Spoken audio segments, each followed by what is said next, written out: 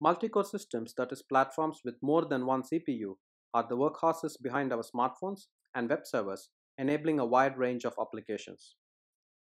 A common technique to isolate software running on such platforms is to assign dedicated resources such as memory and CPU to each application. This technique is called resource partitioning and is widely believed to be a foolproof solution against information leakage and exfiltration. However, is it really the case? For the first time, we demonstrate attacks that exploit heat, a byproduct of any computation, to circumvent resource partitioning schemes.